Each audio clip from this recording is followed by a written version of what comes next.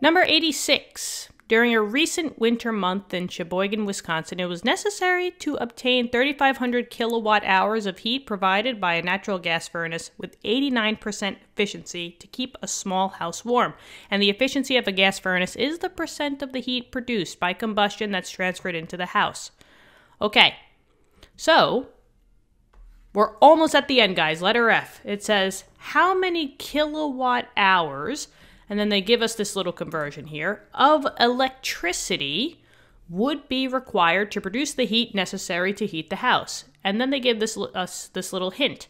Note, electricity is 100% efficient in producing heat inside the house. So that means that whatever you put in, all of it is going to efficiently heat the house. All of it is going to be produced by combustion, right? And gets transferred into the house, and then you have heat in the house. Now, in this case, the 35 kilowatt hours was only 89% of the total that was needed to, you know, heat the house. But in this case, if the electricity is 100%, that means that whatever was put in, that's what's going to be used to heat the house. So, in this case, if the electricity is 100% efficient, this would just be the same number it would be 3,500 kilowatt hours. Perfect. There, basically, there's no extra heat that is needed uh, to basically heat the house. Everything is going to go into the production of heat, and then it gets transferred into the house. Cool. So that one was done. So now there's one last part. Let's do this, guys. Although electricity is 100% efficient in producing heat inside a house, production and distribution of electricity is not 100% efficient. Oh no. The efficiency of production and distribution of electricity produced in a coal fired power plant is about 40%. A certain type of coal produces 2.26 kilowatt hours per pound upon combustion.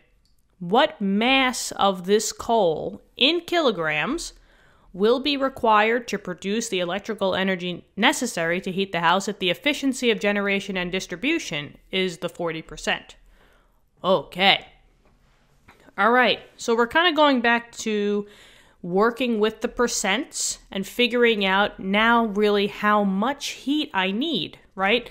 I need three 3,500 kilowatt hours in order to heat the house, but now it's saying that in that, you know, generation and distribution, this is really only 40%. So I need much more. I need 60% more to add to the 30, 3,500 kilowatt hours. So the first thing is we got to find out what's that total number. Now, since we're dealing with percents, right, it's just a simple percent formula. Remember, it's part over whole. So they're told me that it's 40%, and a percent is always part over whole times 100, right? If you're keeping this as just a 40. So the part would be the 3,500 kilowatts because we need to know now the total amount. 60% is going to get lost, you know, in generation and distribution. So I'm going to put the 3,500 up here and the x down here. And then just solve for x. I divide by 100, divide by 100, I get 0.40 equals 3,500 divided by x, right? We cross multiply if you want. 0.40x equals 3,500 divided by that number. And now we're going to get the total amount of heat, or the kilowatt hours, right? Okay. And then once I do this math, I'm going to just erase it because we need to do more math.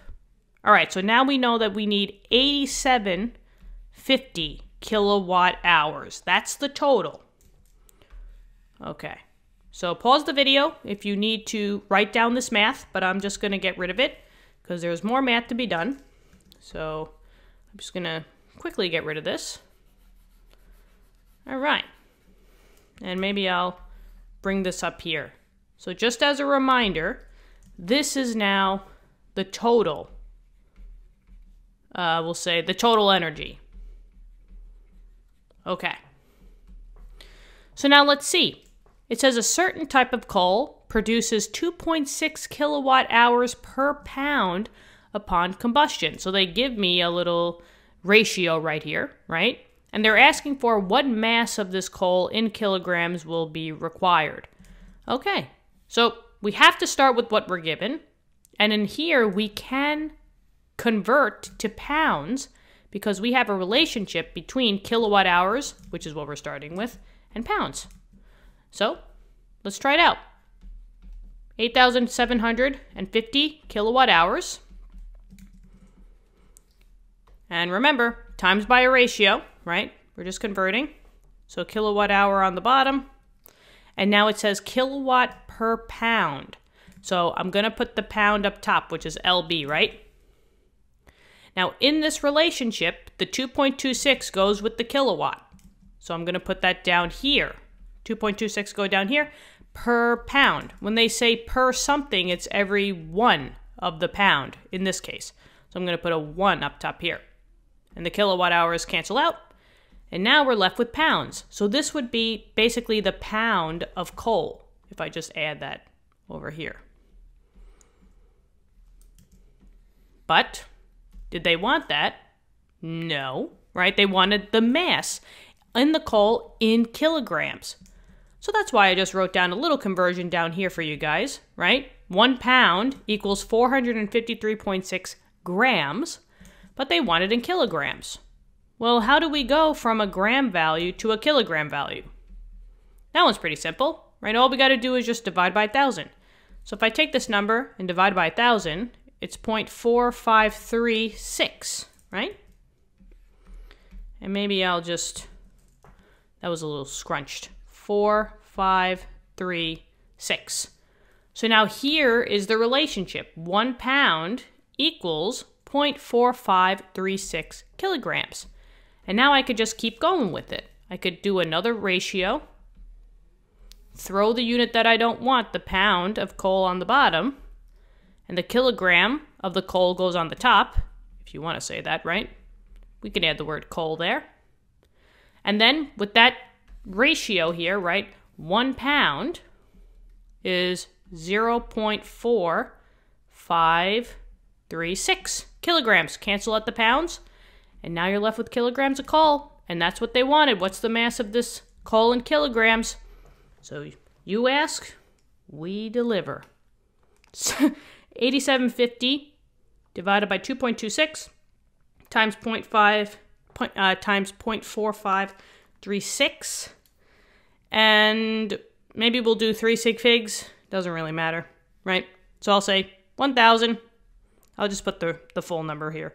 1756 kilograms of the coal and that's it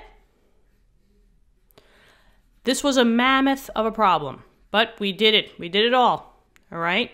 So hopefully this helped. Let me know in the comments. This actually concludes the enthalpy chapter. So it's been a wild ride, but I had fun. I had a lot of fun, you know, teaching you guys through it. So I hope you guys understand enthalpy and how heat transfer works. Remember those formulas, and I will see you all in the next chapter. Take care. Bye bye. Oh, and if you want to subscribe to the channel, that would help us out too. So thank you for that. Okay, now bye.